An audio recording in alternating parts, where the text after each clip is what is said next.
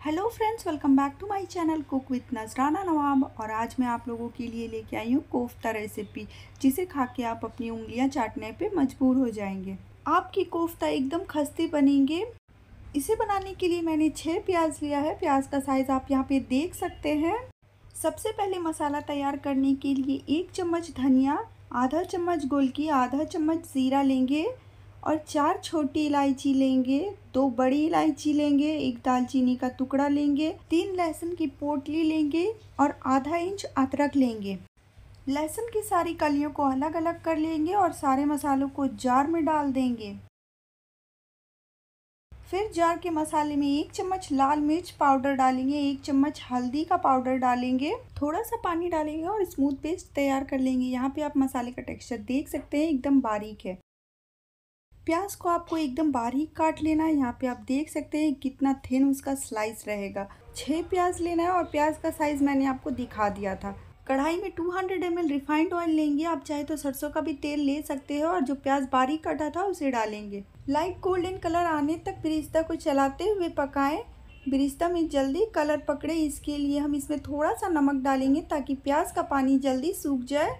बिरिस्ता तैयार होने में बहुत ज़्यादा टाइम लगता है, इसे चलाते रहना होता है और चलाने की वजह से हाथ में दर्द हो जाता है, तेल भी बहुत ज़्यादा ऑब्ज़र्व कर लेता है तो इस प्रॉब्लम का एक सोल्यूशन मैंने निकाल लिया है। बिना तेल के ब्रिस्ता कैसे तैयार करें? इसके लिए आप मेरे चैनल विज़िट करें। और बिना तेल के ब्रिस्ता कैसे तैयार करें, वो वीडियो देखें। और यहाँ पे आप देख सकते हैं लाइट गोल्डन ब्राउन कलर हो चुका है ब्रिस्ता का तो ब्रिस्ता निकाल लेंगे और थोड़ा सा तेल इससे मुझे कम करना है। तो तेल कम करने के बाद जो मसाला तैयार किया था, वो डालेंगे। अब जार में थोड़ा सा पानी डाल के उसे अच्छी तरह से वॉश करके वो पानी भी डाल देंगे, फिर ब्रिस्ता डालेंगे और इसे अच्छी तरह से मिक्स कर लेंगे। इस टाइम पे फ्लेम हाई रखना है, जब तक कि मसाले में अच्छा सा बॉयल ना आ जाए और बीच बीच में इसे चलाते रहेंगे ताकि मसाला नीचे से लगे ना। जब मसाला अच्छे से खदकने लगे तो फ्लेम को लो कर दीजिएगा और लिड से कवर करके उसे तेल छोड़ने तक पकाना है। अगर आप मटन से बना रहे तो भी सेम प्रोसेस रहेगा, लेकिन यहाँ पे मैं एक के चिकन ले रही हूँ।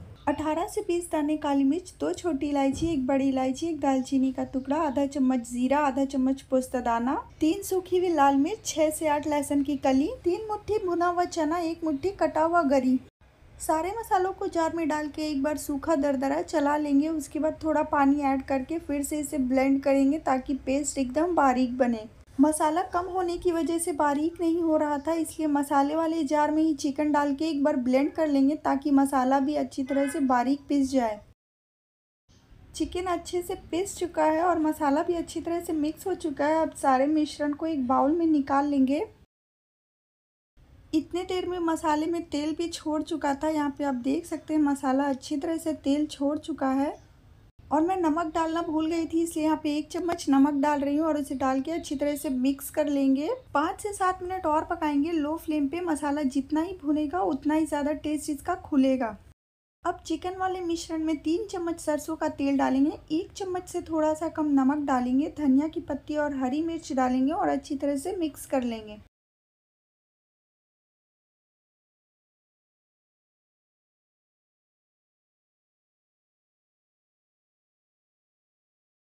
चिकन को मिक्स करने के टाइम पे इस बात का ध्यान रखिए, आपको छोटी छोटी हड्डियाँ मिल सकती है या फिर नस मिल सकते हैं तो उसको निकाल दीजिएगा। फिर कोफ्ते बनाने से पहले हाथ में तेल लगा लीजिएगा ताकि आपके कोफ्ते एकदम चिकने बने, कोई भी क्रैक्स ना पड़े। जिस भी साइज़ के आपके कोफ्ते बनाने हैं, उतना ही मिश्रण लीजिएगा और अच्छे से गोला बना लीजिएगा और इस बात का ध्यान रखिए कि कोई भी क्रैक्स ना पड़े।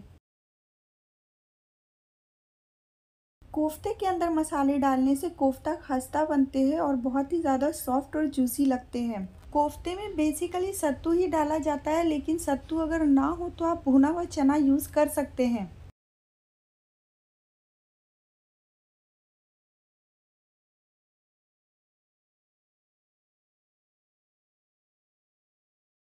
इसी तरह से सारे कोफ्ते बना के तैयार कर लेंगे और आप यहाँ पे मसाला देख सकते हैं। मसाला अच्छी तरह से भून भी चुका है और तेल छोड़ चुका है।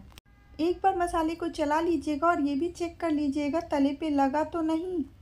फिर सारे कोफ्ते को मसाले के ऊपर बैठा दीजिएगा। इस स्टेज पे कोफ्ते को चलाना बिल्कुल भी नहीं है और लो फ्लेम पे रखिएगा ताकि मसाला नीचे से लगे ना। लिड से कवर करके छः से सात मिनट के लिए इसे छोड़ देंगे। छः से सात मिनट के बाद आप देखेंगे कि इसका कलर वाइट हो चुका है। इसका मतलब ये कि मसाले की आँच में ये पक चुका है। अब इसे चला सकते हैं। अच्छी तरह से मिक्स कर लीजिएगा। फिर इसे और पाँच मिनट ढक के पकाएँगे और पाँच मिनट के बाद आप चाहें तो इस तरह से इंजॉय कर सकते हैं या फिर ग्रेवी को थोड़ा पतला करना हो तो कर लीजिएगा। यहाँ पे मैंने आधा गिलास पानी डाला है और बॉयल आने का वेट कर रही हूँ। जब इसमें बॉयल आने लगेगा तो इसे एक दो हाथ चला लेंगे।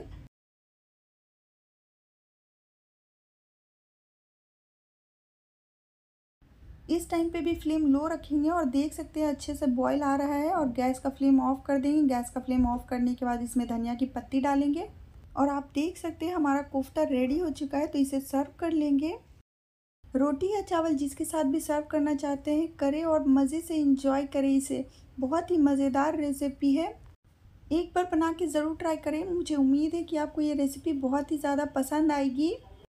अगर आपको मेरी रेसिपी अच्छी लगी तो वीडियो को लाइक कर दीजिएगा चैनल पर न्यू है तो सब्सक्राइब कर दीजिएगा बेल आइकन प्रेस कर लीजिएगा ताकि आपको नेक्स्ट वीडियो की नोटिफिकेशन सबसे पहले मिल जाए। टेक्सचर और कलर देख के तो आपको रेसिपी समझ में आई गई होगी। बहुत अच्छी रेसिपी है, आप इसे बना के ज़रूर से ट्राई करिएगा। एक दो बातों का ध्यान रखिएगा। मसाले को टाइम दीजिएगा पकने का और जब मसाले में कोफ्ता बैठाएँगे तो कोफ्ता पानी छोड़ेगा और वो थोड़ा श्रिंक होगा। उस टाइम पे कोफ्ते में ना तो पानी डालना है और ना ही कोफ्ते को चलाना है और लो फ्लेम पे पकाइएगा और कोफ्ता कोफ्ता देख सकते हैं कितना ईजिली टूट रहा है। अगर कोफ्ते में तेल ना छोड़े तो तेल गर्म करने के बाद लाल मिर्च पाउडर डाल के अच्छे से मिक्स करके कोफ्ते के ऊपर डाल दीजिएगा। बना के ज़रूर खाइए, क्योंकि homemade is best thank you अल्लाह हाफिज़।